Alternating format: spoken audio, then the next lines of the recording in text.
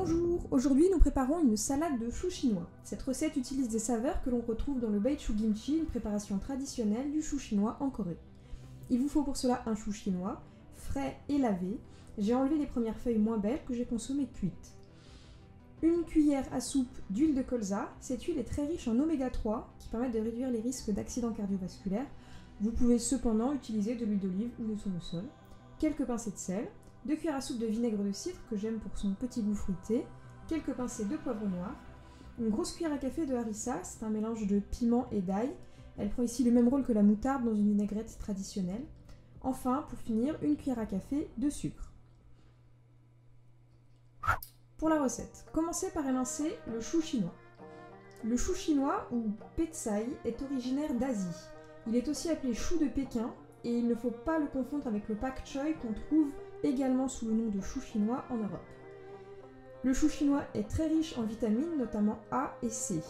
C'est aussi l'un des légumes qui contient le plus de calcium biodisponible, c'est-à-dire facilement absorbable par l'organisme.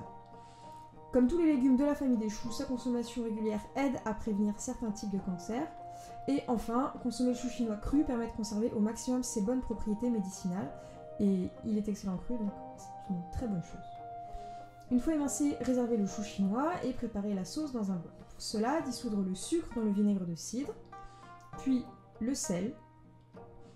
Une fois bien mélangé, ajoutez la harissa et mélangez à nouveau. Enfin, ajoutez l'huile. Un peu de matière grasse permet au corps humain de mieux absorber certains antioxydants du chou chinois comme le bêta-carotène qui est liposoluble.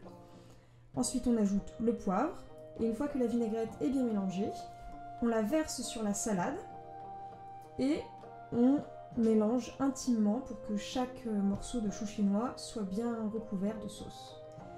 La salade de chou chinois euh, doit reposer au moins une demi-heure avant le repas, donc vous pouvez vraiment la faire à l'avance, même deux heures à l'avance, c'est pas un problème, ça ne la rendra que meilleure.